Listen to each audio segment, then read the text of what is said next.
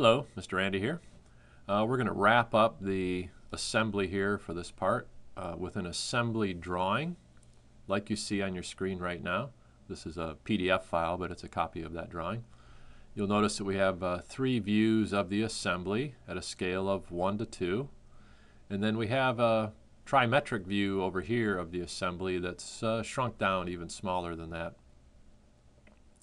And finally, we have a bill of materials on this drawing. Um, so I'd like to show you how to bring all of those components into a drawing file. This is a B size sheet. Um, so let's get this out of the way. And here we are where we left off with our assembly. And I'm going to do one last thing. I'm going to collapse this assembly. Typically in SOLIDWORKS, when you insert an assembly in uh, to get a drawing view, it comes in in whatever state you saved in. Um, and we're going to deal mostly with uh, the 2D views that where it's collapsed. One other thing to note, again, I have a mate in place here that locked this down so it won't spin.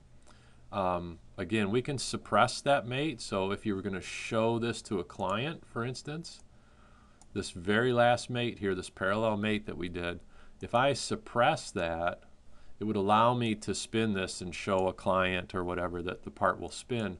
But once again, for the 2D drawing, we really want that to be lined up. So I'm going to unsuppress that mate so that this is locked in its exact orientation that we want in the 2D drawing. All right, I'm going to save this file. And now I'm going to make a drawing from the assembly. This is an inch drawing. And we're going to choose a B size sheet and hit OK. Now I'm going to bring a front view in. And looks like SOLIDWORKS has chosen 1 to 2 for a scale, so that's kind of nice. I'll put in a top view and a right side view, and we'll hit escape. Now, in these assembly views, we probably don't need to see all those hidden lines, so let's turn hidden lines off in our parent view. And you'll notice that turned them off everywhere. We also need to get tangent edges turned on. That might help the look a little bit. So we're going to go tangent edge with font. And we'll probably have to do that in every viewport. So tangent edge with font and tangent edge with font. I am not going to take the time to center mark these, so take a look at your handout uh, in terms of what center marks are shown um, and make sure you get those in. I now would like to bring in that trimetric view that we're going to explode. So let's insert a model view of 55. So we'll hit next. And I'm going to bring in a trimetric view, and that's already checked. So I can just uh, come on screen and drop that in. Um, and we'll hit OK. Now this view um, you can see is collapsed which is not the look that we want. So we're going to right click in the viewport. Again, get into that gold colored box and right click. And we're going to go to properties. And here's a checkbox right here to show in the exploded state. And we'll hit OK. And it's going to blow that apart. Now notice that, uh, remember we've got to get a bill of materials in here. We certainly don't have room for that. So we're going to have to change the scale of this view. So let's scroll down while that viewport is lit. And let's go to a custom scale. And we might try something like 1 to 4 is going to be too tiny. So we're going to pick a unusual scale, if you will. And we'll go user defined. And let's try 1 to 3. And that's probably going to be good enough. That'll give us plenty of room down here for our bill of materials check your handout. There should be a scale specified on the handout for you. All right, so I'm going to turn off hidden lines in this view, first of all. And then as you can see, we're not seeing all the edges there, so we need to get tangent edges turned on. So we'll right click, tangent edges with font. We do that oftentimes when we have cast parts so we can see those boundaries. All right, so we have our exploded trimetric view there. Looks lovely. Remember we've got that white space in there now that we didn't have in the, in the other picture that I showed you. Now we need to get some balloon leaders on here. So we're going to go to annotation and balloon. And I want you to be very careful when you're putting balloon leaders in. So I'm going to zoom up quite close on this part. And I want you to make sure when you attach a balloon leader that you're attaching to an outside edge of the part. So I don't ever want to see a balloon arrowhead to an interior line. That's incorrect. Um, if you have to attach to a part on an interior surface, you would do that on a surface that doesn't produce an arrowhead. Excuse me, and see a dot. But there's no reason to do that on this part. So we're going to do a balloon leader to an outside surface. Zoom back out a little bit and do that. Uh, we don't need balloons for every nut, they're all the same. I'll take an outside edge here and place. I'll take an outside edge here and place. And I'm, by eye, I'm trying to keep these at about the same angle. Makes it much easier to read our drawing. Uh, I'm going to come in here somewhere, and I'm probably going to take this one at an opposite angle, kind of cross through that line there. And then we'll drop this one down at that same angle.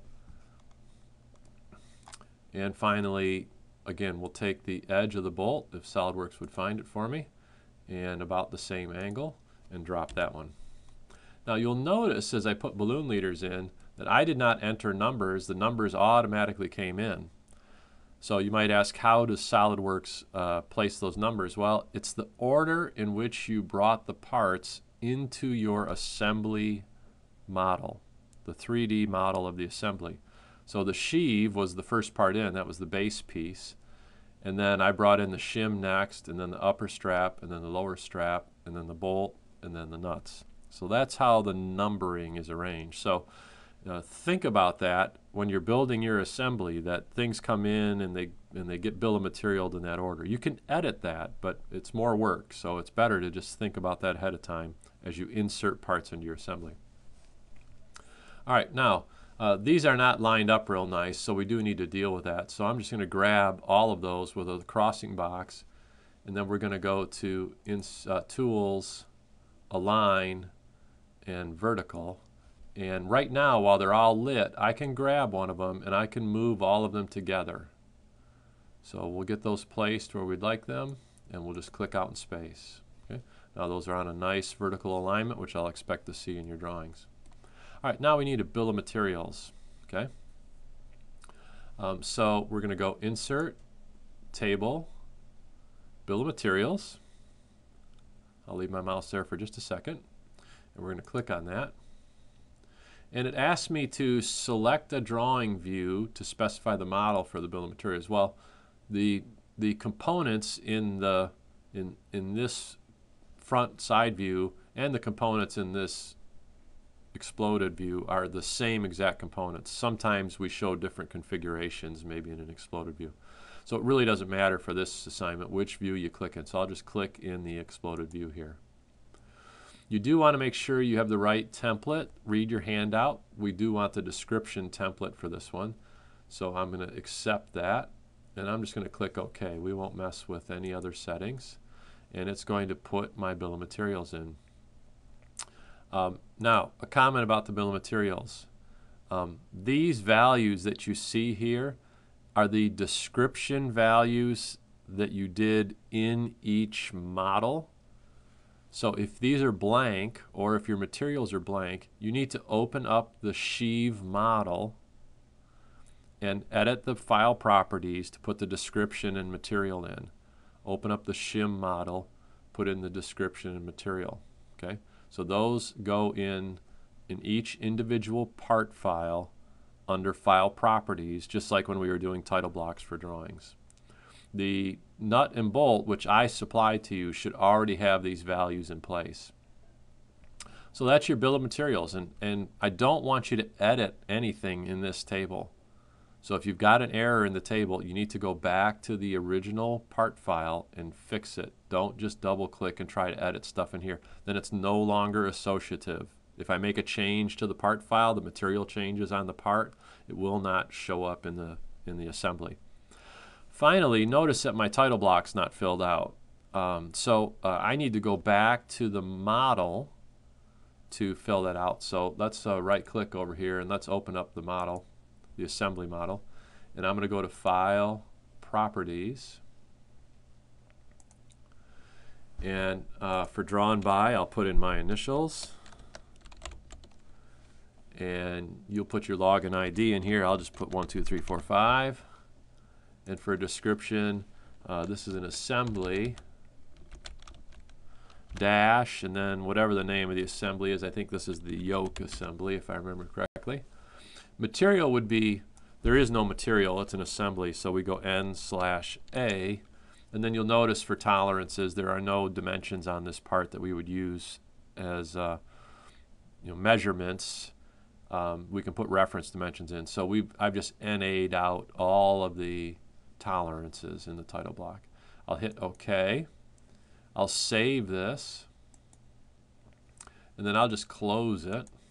And when I return back to the drawing, now my title block is all filled out. So again, this data is pulled from the assembly 3D part file. And this data is pulled from the individual part files when you modeled each part. Okay? So there you have it. Let's zoom back out and take a look at this thing. You would, of course, again, get all your center marks in to make these three views look appropriate. If there are any overall dimensions needed, you'll add them manually right here. Leave the parentheses turned on because they'd be reference dimensions. And then you can wrap up, finally, the yoke assembly uh, and print this and hand it in. Good luck and enjoy.